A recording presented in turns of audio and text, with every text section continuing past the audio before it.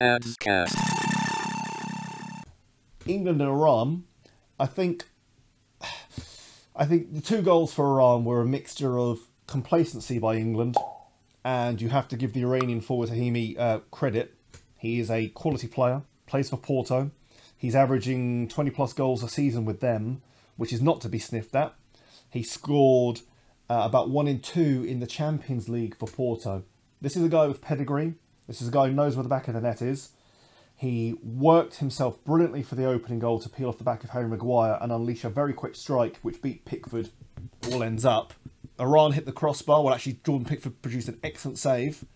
As towards the end of the game, England did switch off a little bit, and Iran were relentlessly pushing forward. So it could have ended 6 3. Um, against a better caliber team, I don't think England would be so open. I don't think they'd be so lackadaisical and so complacent. Um, the penalty was a bizarre award when you consider the manhandling that happened to Harry Maguire in the first half.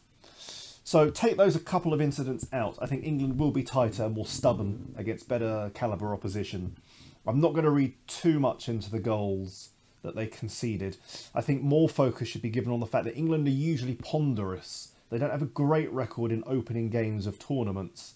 Um, I think people of a certain vintage might remember uh, 1982 when they scored within about 20 25 seconds against France, who themselves were an excellent side, um, only to draw the game 1 all.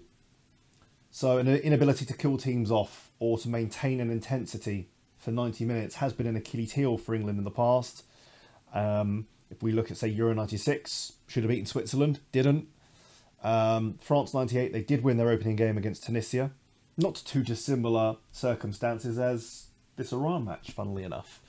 But more often than not, England do struggle in opening matches of major tournaments.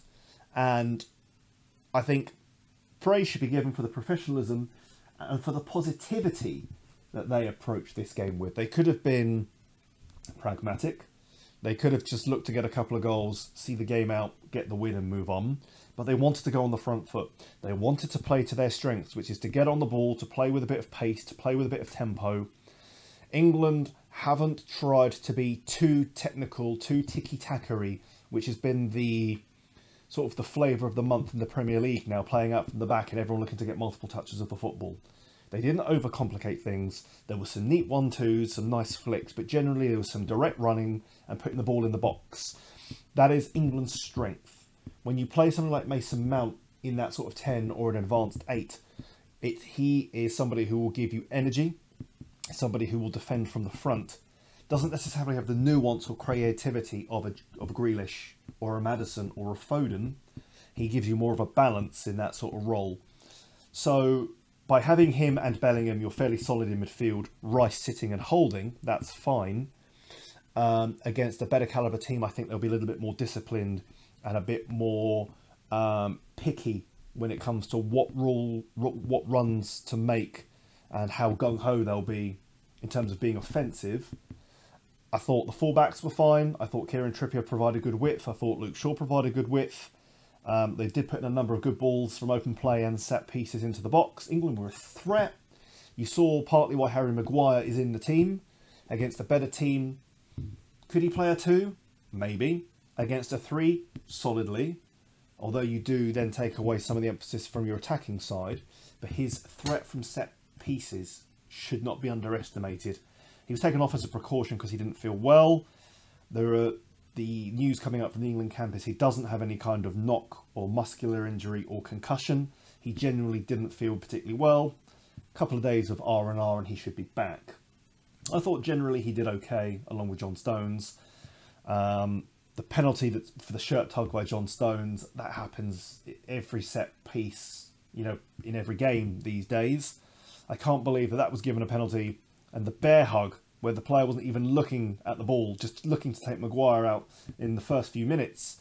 I think I can't believe that wasn't given a penalty. The inconsistency is a joke on the VAR side.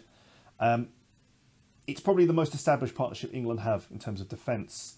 With Kyle Walker back, you could make an argument for Walker, Stones, and Maguire as a three, with Shaw and Trippier as wing backs. It just means that probably one of um, what would have been a three in England's midfield will probably be dropped. and you'll probably fancy that to be Mason Mount. So if he plays a 5-2-3, he'll probably have two in midfield, which is Rice and Bellingham, and then he'll probably have three up top, which would be Sterling, Kane, and probably Saka. I think it was really good that England tried to maintain that attacking focus all the way through the game, looking to score goals. It's good that substitutes came on and scored. Uh, Grealish got a tap in. Wilson on another day could have been selfish and gone for goal himself, but the awareness and the and the togetherness for him to make the run and have and, and pick out a teammate to score the goal is good. Bodes well for future games. Good that Marcus Rashford came on, scored a goal, very composed finish. And we know with Marcus, he can come on a bit like Callum Wilson as somebody up top who can stretch teams as a as a out and out nine and and run on the shoulder of the last man. He can play on the left, he can play on the right. So he gives England a huge number of options, plus his pace and his finishing. Fantastic for Jack Grealish to score a goal. That will give his confidence the world of good. Sometimes, no one could deny his ball playing ability, but sometimes his end product is lacking, especially for a £100 million footballer. So it's great that he's got on the score sheet. It's great that Foden's got some minutes under his belt. Um, great that Callum Wilson has come on. If we can get Harry Kane scoring, then that bodes well for England because he's probably England's main goal threat against world class opposition. Um, if England do the business early against the United States, it would be good for James Maddison to get some minutes and possibly even Kalvin Phillips, just so that all of England's midfield, all of the options and all the permutations have got minutes under their belt and are used to the heat and the conditions, the ball, the pitch. Um, the more players that England can bring into the fold and get some minutes under their belt, the better, because it means if you do need to call upon your squad, um, you don't have any kind of worries or fears or rustiness. I thought Jordan Pickford did well in goal um, when called upon. I don't think you can read too much into it. I think it's good that England have gone forward and looked to score goals because if they do drop points against either Wales or the United States, goals scored and goal difference could count. So that's great. The intensity, the fact it was more of a 4 3 3 in the first half rather than a 4 2 3 1 is good. It shows an offensive um, thought process rather than defensive. Um, and it's good that England sort of picked up from where they left off against Germany when they when they drew three all. The last 15 minutes of that game, England went very attacking, played to their strengths, and put the Germans under pressure. England started like that against Iran.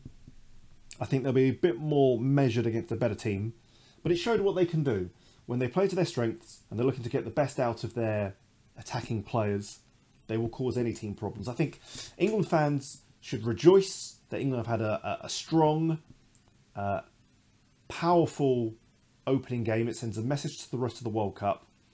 We've just seen Argentina lose to Saudi Arabia, and what we saw in that game was Argentina on top. A Couple of decisions either way where they could have had an offside goal given weren't given, and their level dropped off. It became very pedestrian. Saudi grew into the game, took their chances, so I think it's a good message for England to show that they didn't have that level of complacency. They were very calculating and measured and professional in their application. That will serve them well. And I think they've sent a powerful message out in the tournament. And I think England fans should take each game as it comes.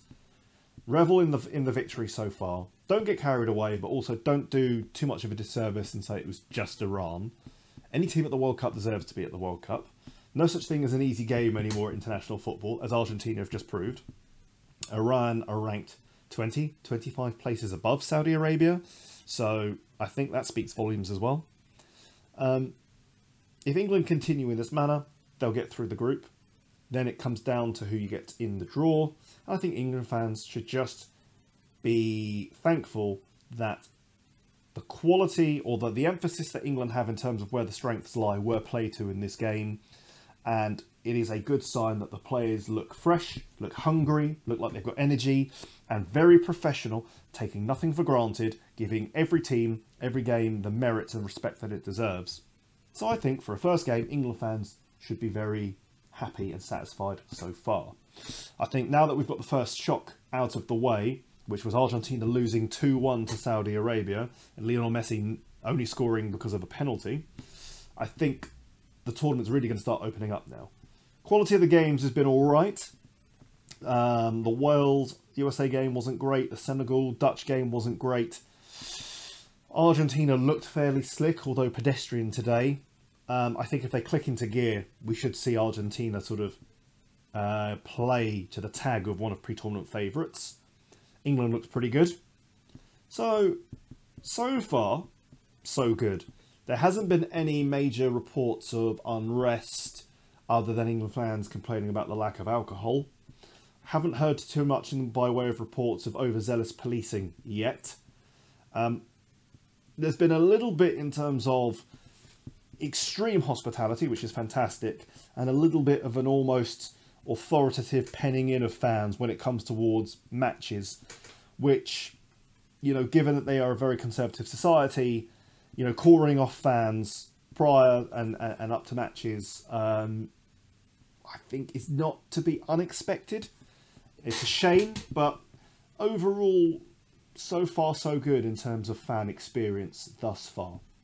So, in a nutshell, England probably looking one of the better teams in the tournament so far, although it's in its very early stages. Shock of the tournament, undoubtedly, Saudi Arabia beating Argentina. That will go down as an all-time shock.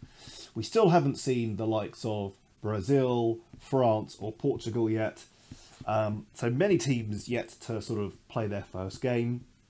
Once we've got this first round of fixtures out the way, the likes of Spain and Germany and others as well, we'll have a better idea of who's in form, who's fit, who looks like a threat, where teams' mentality are at.